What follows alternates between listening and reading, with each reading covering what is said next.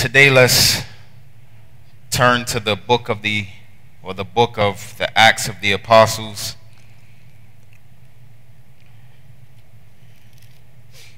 Chapter 16.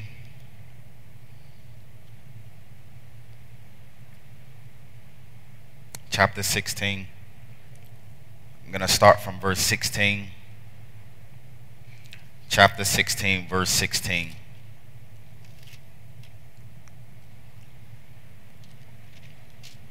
Acts 16 16. Now it happened as we went to prayer.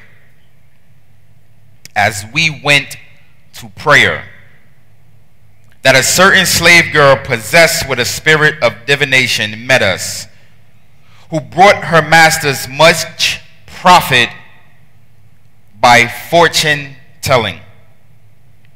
This girl followed Paul and us and cried out, saying, These men are the servants of the Most High God who proclaim to us the way of salvation.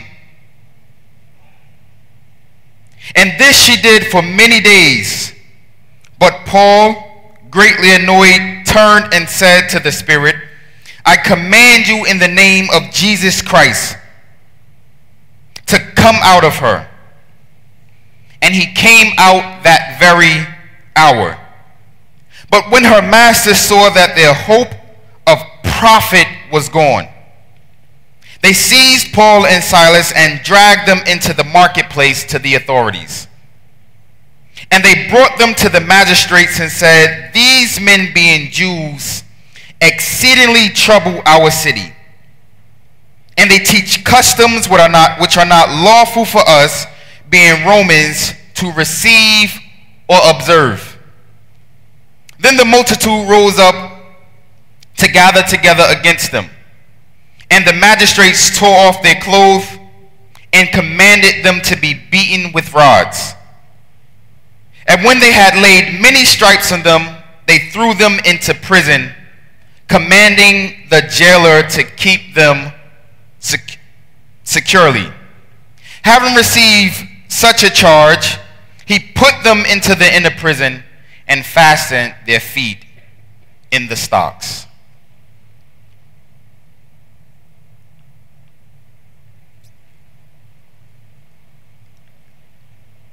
The text opens up and says that these men were walking to prayer. These men were walking to the place of prayer. And day after day, this certain woman came to them daily on their place to prayer.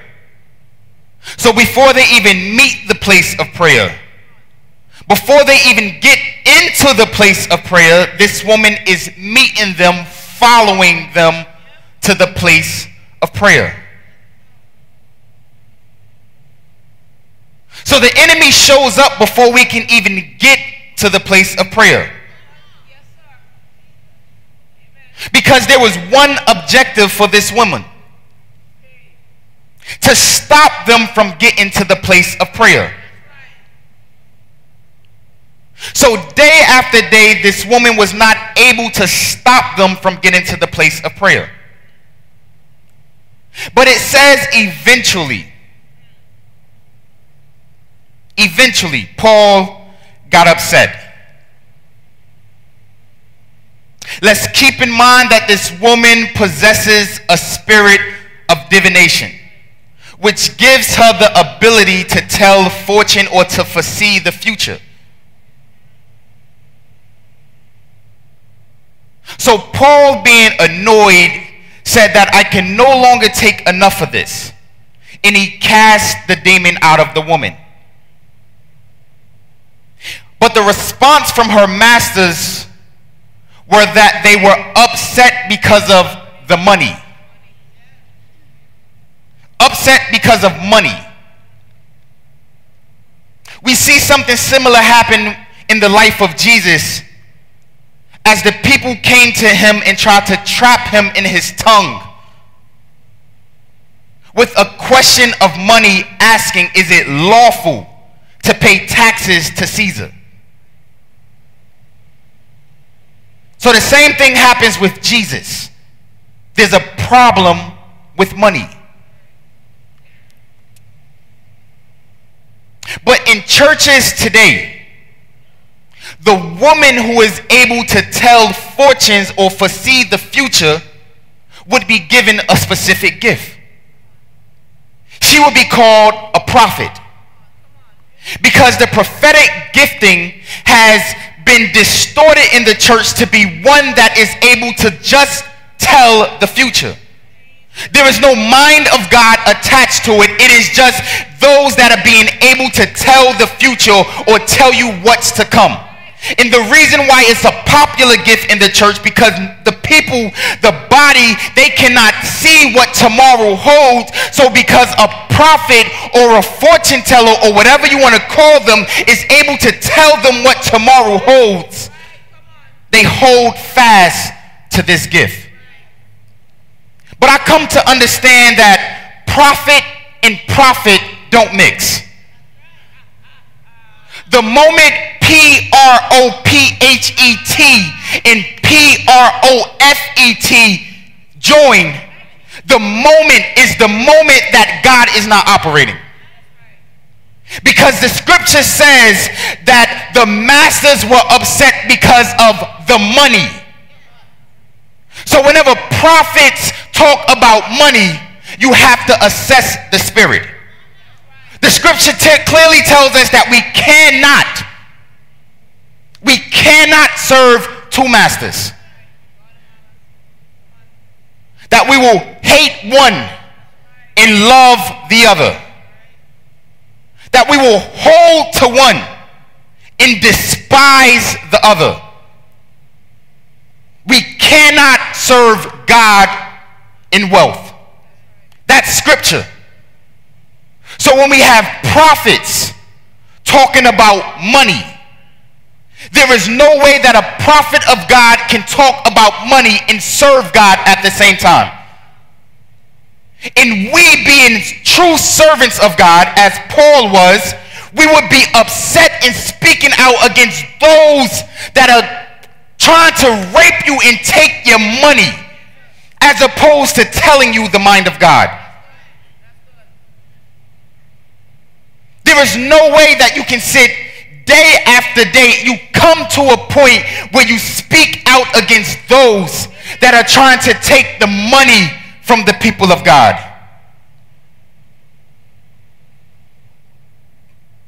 It says that if we serve God, we will despise which means we cannot stand for it, which means we cannot tolerate it. We will despise those who serve wealth. I know Apostle London is truly a servant of God. Because there is a clear indication of who he serves and who he despises. We get all confused about things in church. That we place labels on people. And we sit there and say because this person speaks out against something, that they are not a servant of God. But it is a servant of God if they are speaking out against the other master. Because you hold to one and despise the other. So these men were on their way to the place of prayer. Day after day. When Paul spoke, when Paul spoke, and he commanded the Spirit to come out, they were upset and they arrested not Paul, but it says Paul and Silas. Paul spoke, but Paul and Silas was arrested. And we still want to be connected to Apostle Nigel London. Silas never spoke, but he's guilty by association. But the strange thing about the text is that the writer of the text says that we were on our way. So it clearly indicates that there was Paul, Silas, and the writer of the text being Luke. So Paul, Silas, the writer, and there were others. But Paul and Silas were arrested. Paul and Silas. It does not say that Luke was arrested, just Paul and Silas. I'll get into to why this was. But I want you to remain focused on the fact that they were on their way to prayer. They were on their way to prayer. Day after day, they made it to prayer. But this one day, they didn't. This one day, they did not make it to the place of prayer. They were arrested before they made it there. They were arrested. But then later on in the text, we clearly see that Paul and Silas was arrested. And it says when midnight had come, they were praying and singing hymns.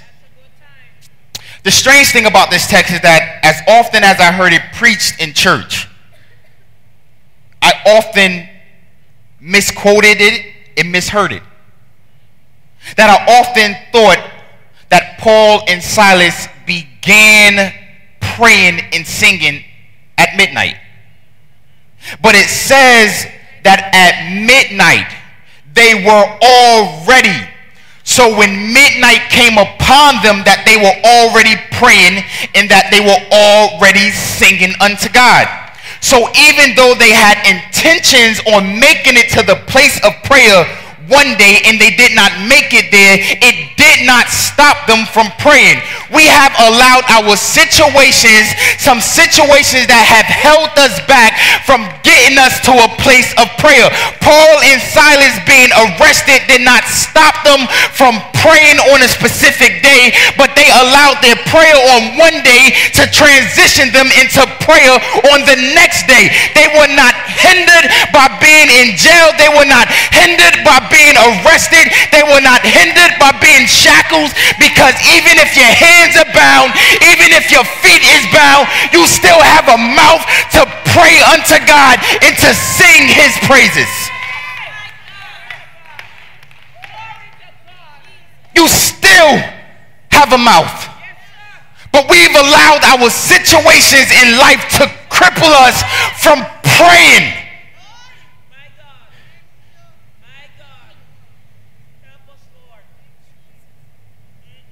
They had intentions on the same day to pray that they were arrested on. But it did not stop their prayer. Did not stop it. But watch this. The easiest time to pray is when you're trapped. The easiest time to pray is when you're trapped.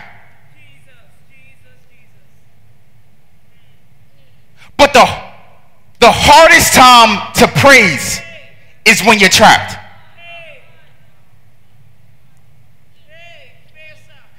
So the easiest time to pray is when you're trapped because you have to ask God for something. But the hardest thing to do when you're trapped is still praise or sing unto him. So it goes to show that some of us have been praying wrong when we're trapped. Because when we're trapped, it's easy to pray. But it says that the prison shook and there was an earthquake when they prayed and when they praise together.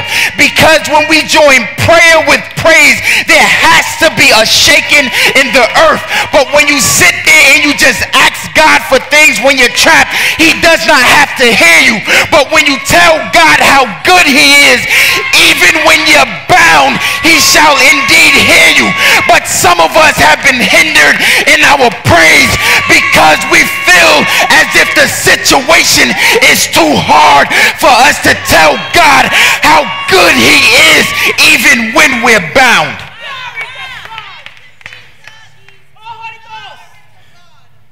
It's hard to praise God when we're bound.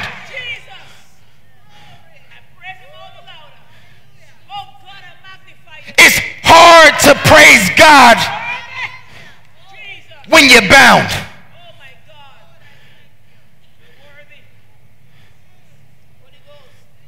But we found ourselves in situations where we're bound and God does not show up because all we know how to do is pray.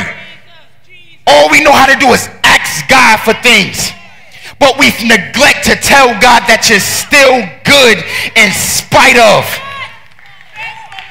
That even while I'm bound, even while I'm persecuted, even while they conspire against me, even while they try to trap me in my tongue, even while they try to arrest me for the good I'm doing in serving you, that I still have a song. I still have a God, you're worthy. I still have a God, you're, oh my God, you're great.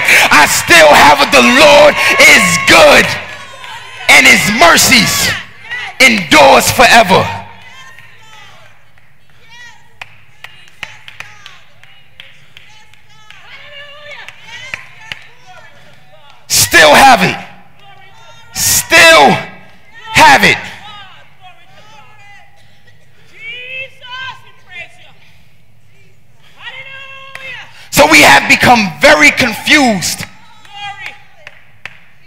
When to pray and when to praise.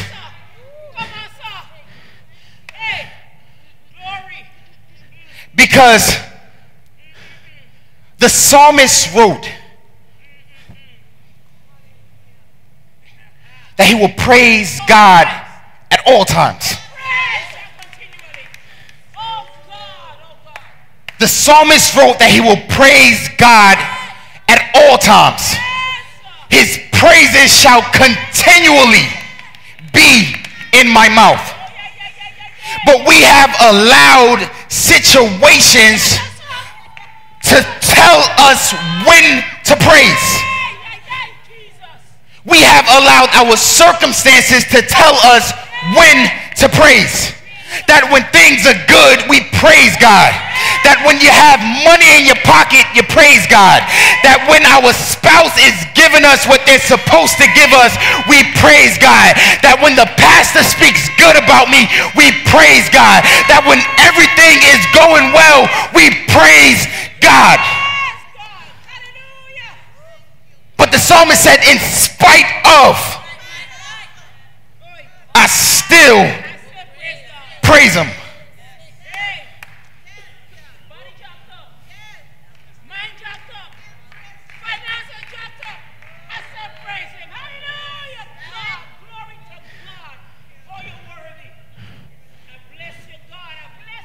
So we have Paul and Silas.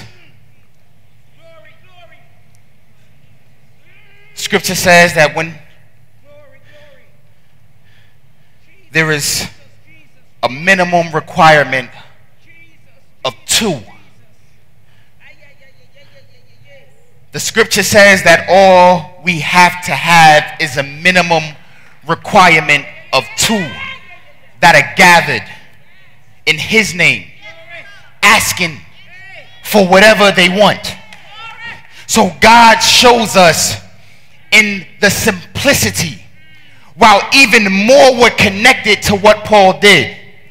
While we at least had Paul, Silas, Luke, and others, God shows us that all it takes is two that can stand up and say that while a prison, while a prison, while there are many that are bound, all it takes two to be gathered in his name, in that the whole place will be shaken, in that the prisoners that did not even ask for anything, they will receive the blessings of the prayers and the praises of two.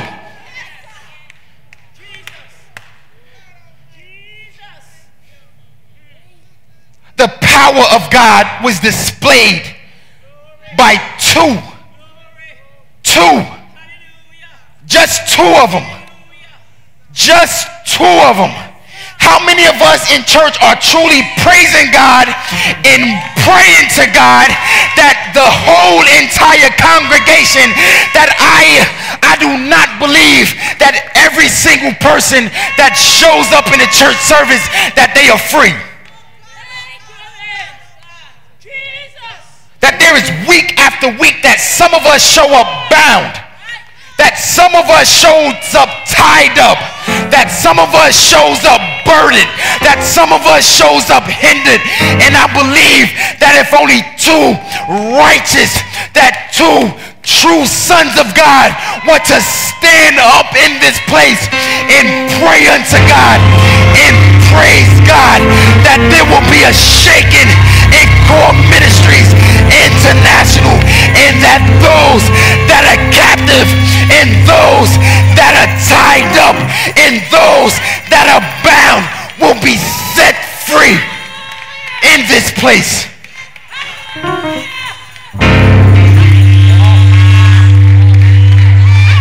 The entire prison, it says that none was left. The entire prison with the minimum requirement of two.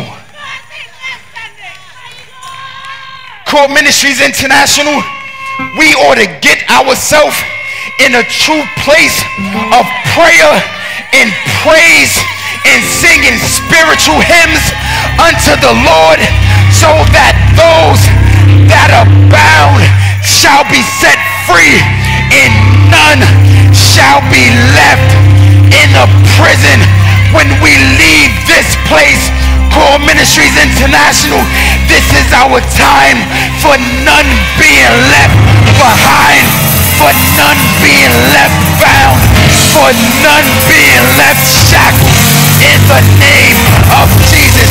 I declare it unto the Lord.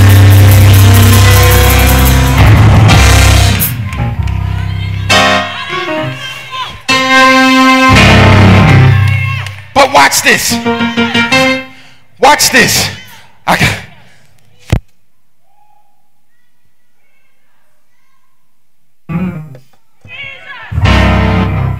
Watch this. The scripture says that after they were all, after they were all set free, that after the shackles came off of all of them, and the doors rolled open, that the guard was going to fall on his sword. But then Paul said that no, no, no, no, you don't have to do this because we all are here. Watch this. Paul said that everyone that was set free is still here. Because the guard understood that there was consequences for what happened on his watch. But Paul said there's no need to do that. We are all still here. Somebody need to catch this. We're all still here. even in the place we were bound at, we're all still here.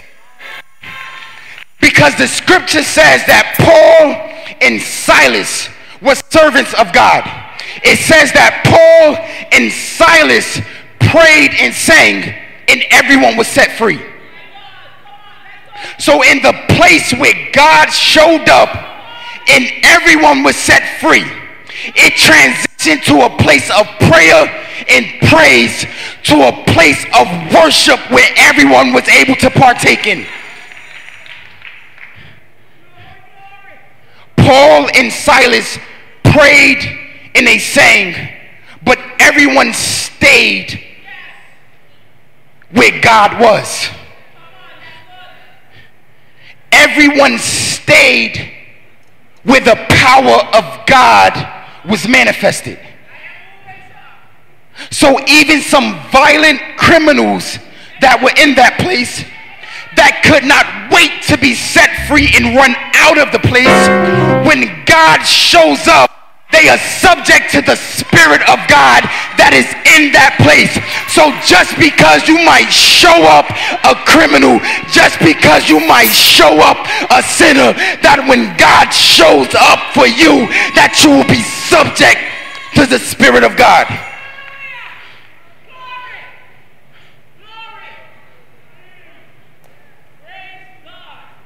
People come to church, they're bound and then they want to run out at the end of service?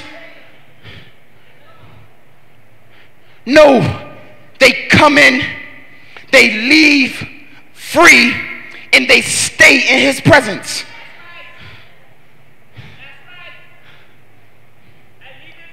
But more than that, so we understand that, we understand that with the prayers and the praises of two, that everyone could be set free. But watch this the Lord is so good. He's so good that the one who was on watch, he sat there and said, I understand and I see the power of God.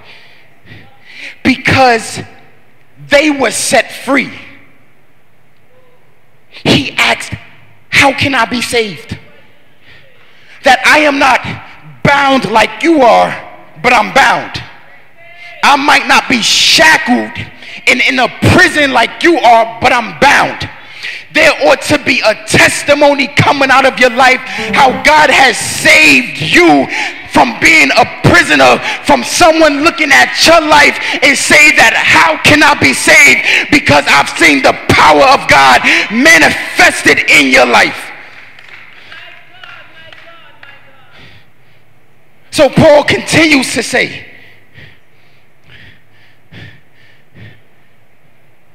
that not only you, but your household. So God shows up on a behalf of two, saves everyone, and then saves a man and his household.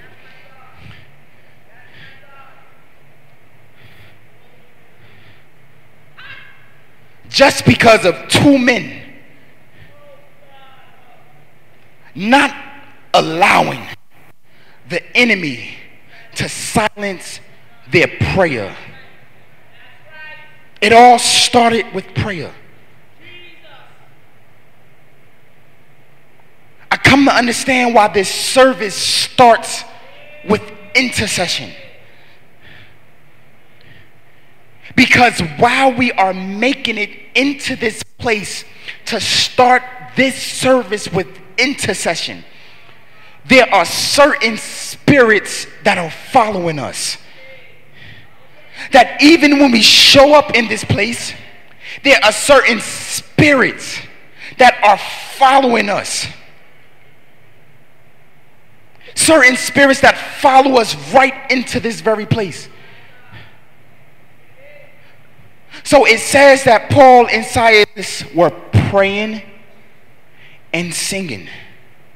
Before we even deal with the word of God, the first two things we do in this service is pray and praise. So some of us should be set free even before the word comes to us.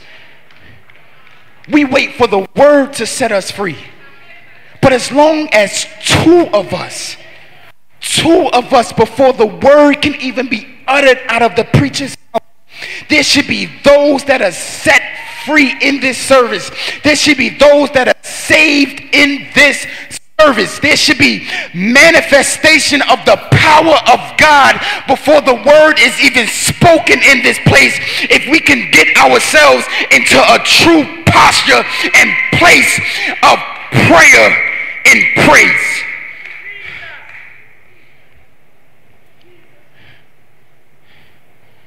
Not only that, I find it very strange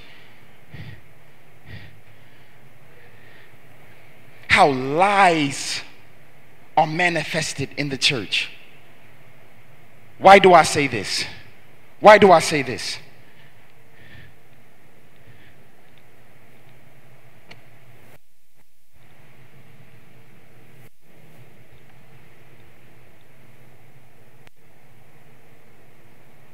Ashton, pull up 17.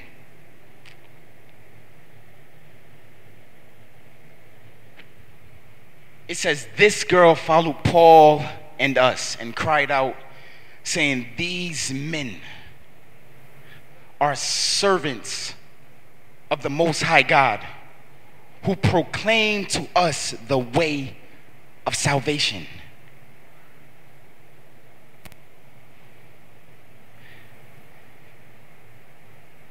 To us the way of salvation. The scripture says that this woman is possessed with the spirit of divination one who gives her the ability to tell fortunes, to tell the future. That's not the Spirit of God. So, even a woman who is not filled with the Spirit of God is even speaking truth about the men of God.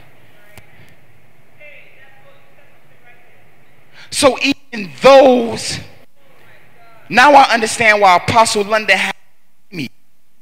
They cannot deny who he is.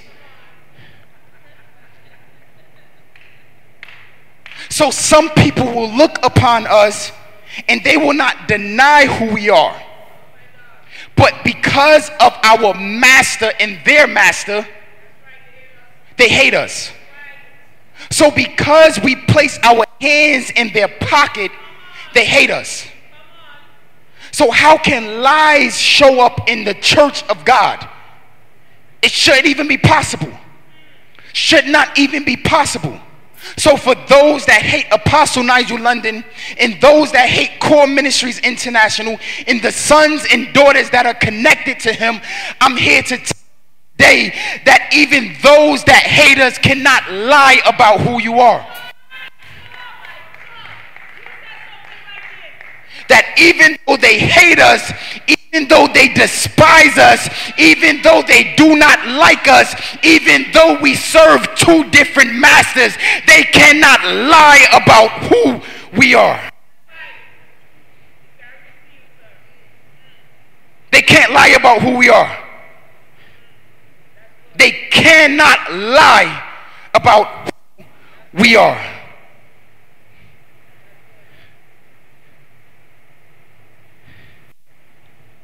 They cannot. They cannot.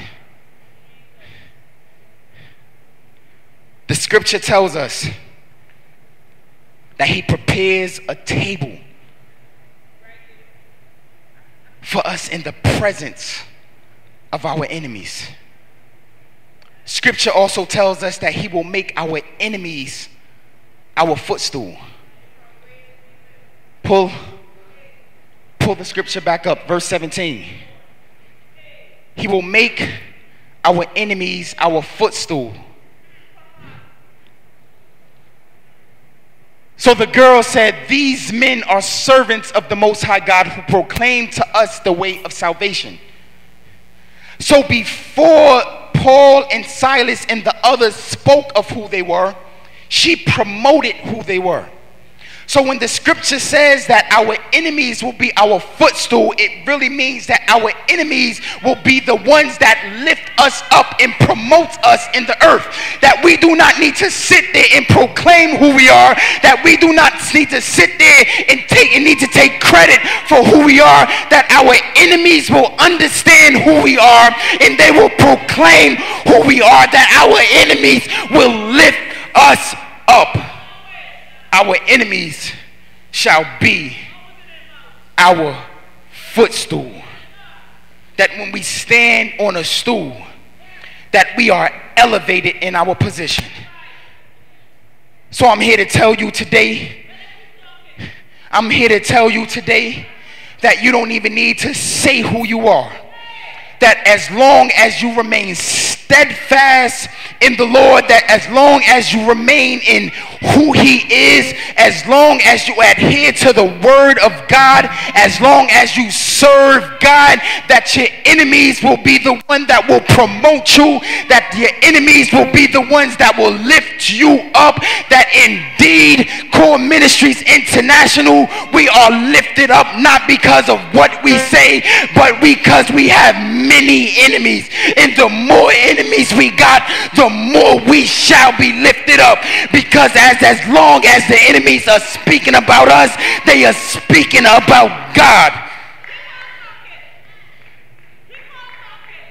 Allow your enemies to promote who you are. Apostle, as I know that you are either watching this or you will see this, that there is no need to proclaim who you are that as long as you continue to speak the uncompromised word of God, that even those that hate you, that even those that despise you, that even those that don't like what you do and like what you say because they feel as if you are taking their money away, that those will be the same ones that will lift you up, that they will continue to have your name in their mouth and you shall shall be promoted. You shall be elevated. This is your season to be persecuted. This is your season for those to try to shackle you. But as long as you continue to hold on to God, that you shall be elevated, that you shall be lifted up. And for those that are connected to Apostle London, this is our time to be persecuted. But the Lord says that blessed are those who are persecuted. I'm here to tell you that we are blessed, that we are blessed even while we are persecuted. We are blessed. The Lord said that we are blessed. We are blessed on this day. Stand up. Magnify the Lord with me because we are blessed today. Do not fret over evildoers. Do not despise your enemies, but the Lord shall reward us because we stand for righteousness, because we speak against sin, because we promote holiness in the name of Jesus. Our enemies shall lift us up. Our enemies shall promote us in the name of Jesus.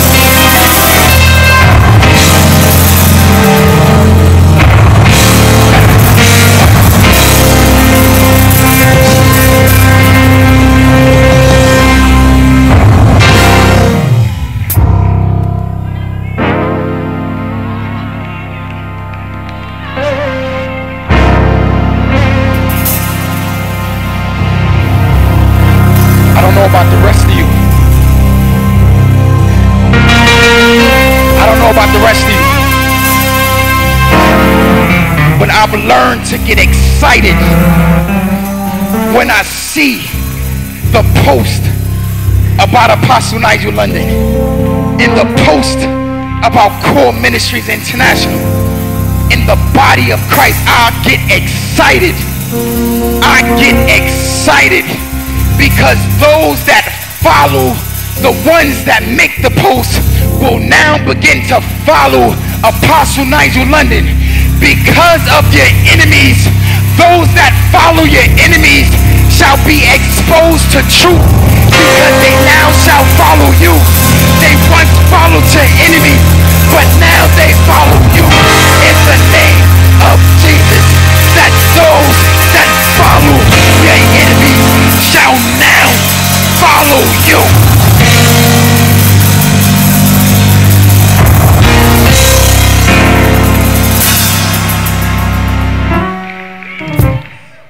You ought to praise God for your enemies today.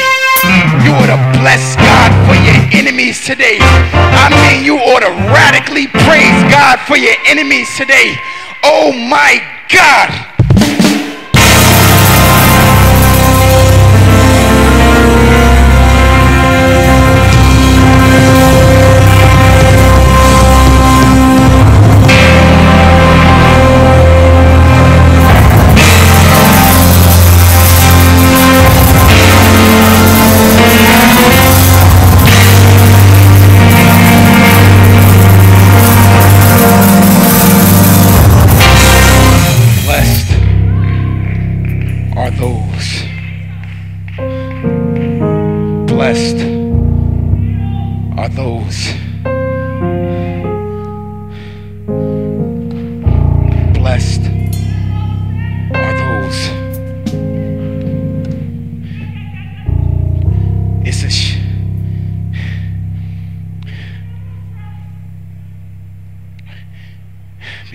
Today,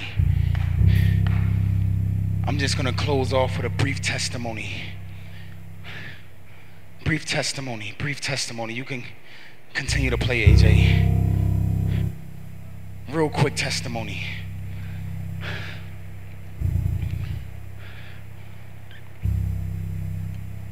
Today I understood why the. Let me tell you something. I've been preaching in this church for a few years now, and you've never seen anything like this from me.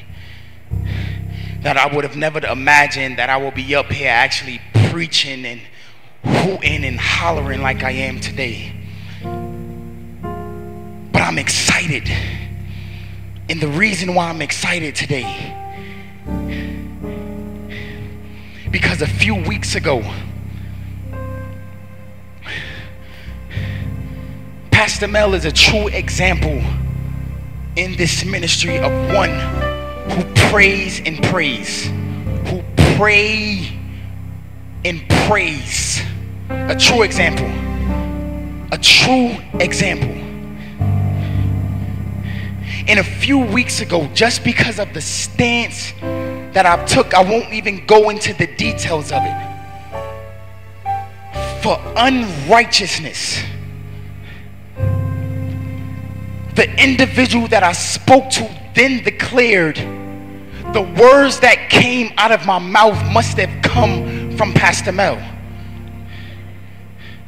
Pastor Mel has no idea what I'm talking about. She has no idea of even the situation I'm speaking of. But because of the stance that I took,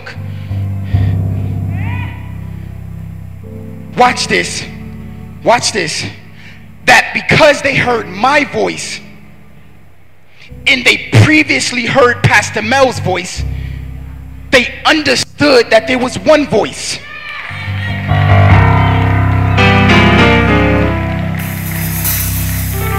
And because of that one voice being connected to God, I was hated for it.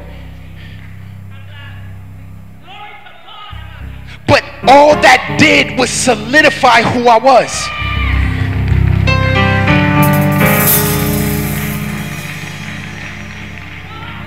So even those who proclaim to love us, when they turn around and say that they hate you for the stance and righteousness that you take, you ought not to cry, you ought not to fret, but you ought to praise God because they have solidified who you are so your enemies. When you declare righteousness, you ought to thank God because they solidify that you are a servant of the Most High God and you proclaim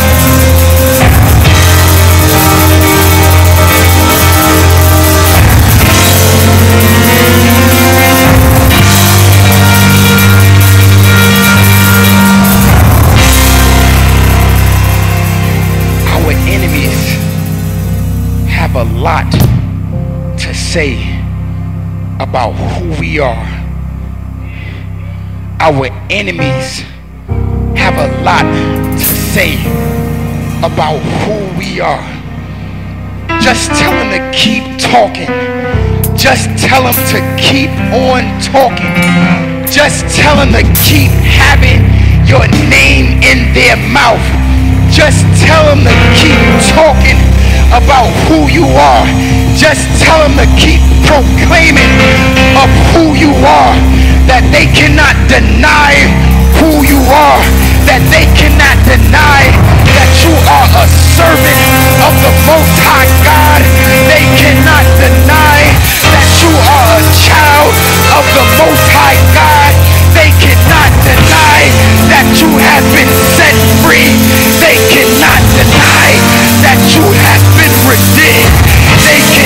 deny that the hand of God is on your life.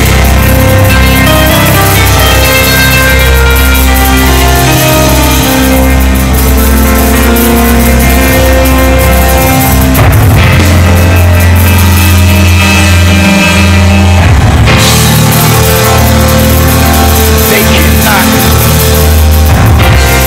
deny it. They cannot deny it. They cannot deny it. Let's just keep in mind while they may hate it, while you may be persecuted, while you may be despised. There's laws right now that if we speak out against homosexuality and certain sins, that we could be arrested with a hate crime. So, because of who we are and what we stand for, there is persecution that is attached to it. But with this text today, Paul and Silas, while they were persecuted and while they were arrested, and even while they were bound, they did not stay that way. I'm here to tell you that persecution shall come to us. We are one of few churches that are speaking out against sins in the ways of this world. I won't lie to you and say that there are not consequences attached to the mandate that have been given to this body. But let's shake the foundation of what binds us with our prayer and our praises unto the Lord. Let us stand today and exemplify true, radical prayer and praise in this season unto God. Let's stand in true worship unto the Lord. Let's stand and exalt the name of the Lord.